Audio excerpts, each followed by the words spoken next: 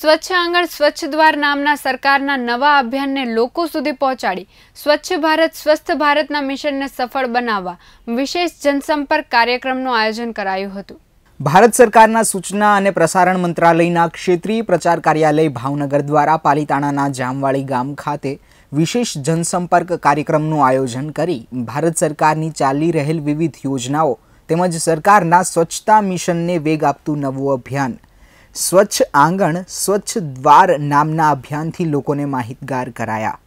કાર્યક્રમના અધ્યક્ષ સ્થાને સાંસદ સભ્ય ડૉક્ટર ભારતી શિયાળ, તળાજા માર્કેટિંગ યાર્ડના પ્રમુખ ધીરુ શિયાળ, તેમજ પાલિતાણા તાલુકાના ટીડીઓ, દેના બેંકના મેનેજર, પાલિતાણા આઈટીઆઈના સિનિયર ઇન્સ્ટ્રક્ટર તેમજ વિવિધ સામાજિક કાર્યકરો તેમજ જામવાળી ગામના સરપંચની વિશેષ ઉપસ્થિતિ રહી હતી. ક્ષેત્રીય પ્રચાર કાર્યાલય ભાવનગરના અધિકારી દેવેન્દ્ર ત્રિવેદી દ્વારા ભારત સરકારની વિવિધ યોજનાઓથી લોકોને માહિતગાર કરાયા, તેમજ સ્વચ્છતા અભિયાન અંતર્ગત કેન્દ્ર સરકાર દ્વારા ચાલતી યોજનાઓ સંદર્ભે જાણકારી પૂરી પાડી, તેમજ સૌને સ્વચ્છતા અંગે જાગૃત થવા અપીલ કરી. દેના બેંકના મેનેજર દ્વારા બેંકના વ્યવહારો તેમજ ડિજિટલ ઇન્ડિયા અને કેશલેસ ટ્રાન્ઝેક્શનને ગતિ આપતા વિવિધ ઉપકરણોનું નિદર્શન કરાયું. આઈટીઆઈના સિનિયર ઇન્સ્ટ્રક્ટર દ્વારા સ્કિલ ઇન્ડિયા અને પ્રધાનમંત્રી કૌશલ્ય વીમા યોજના અંતર્ગત તમામ માહિતી અપાઈ. આ કાર્યક્રમના અધ્યક્ષ સ્થાને સાંસદ ડોક્ટર ભારતી શિયાળે ભારત સરકારના સ્વચ્છતા અભિયાનમાં સૌ કોઈએ સહયોગ આપી સ્વચ્છતા ઝુંબેશને વેગવંતી બનાવવા માટે અનુરોધ કર્યો હતો.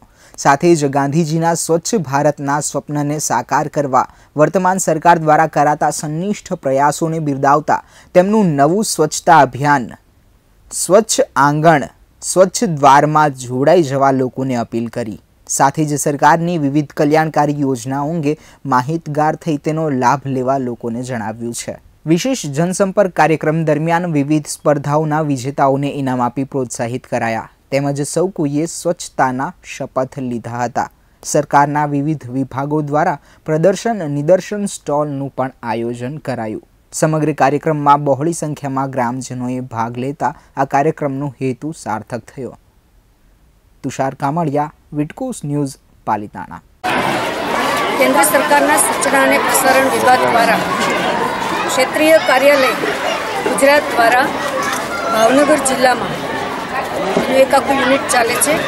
ઘણા બધા જિલ્લા એમાં આવરી લેવામાં આવેલા છે અને આ ક્ષેત્રીય પ્રચાર અને પ્રસાર કાર્યાલય દ્વારા વખતો વખત કેન્દ્ર સરકારની જે લોકો રિલેટેડ યોજનાઓ છે, એનો પ્રચાર થાય, એનો પ્રસાર થાય અને દેશની જનતા વધારેમાં વધારે આ બધી યોજનાઓનો લાભ લઈ શકે જે ખરેખર લોકો માટેની યોજનાઓ છે, લોકો સુધી પહોંચે એ માટે આ કાર્યાલય આખું, આ યુનિટ આખું કામ કરી રહ્યું છે અને એ અંતર્ગત આજે પાલિતાણા તાલુકાના જામવાળી ગામે પણ આવો એક સરસ મજાનો કાર્યક્રમ, બેટી બચાવો, બેટી પઢાવો અને સ્વચ્છતા અભિયાન એને અનુલક્ષીને આજે અહીંયા કાર્યક્રમ થયો.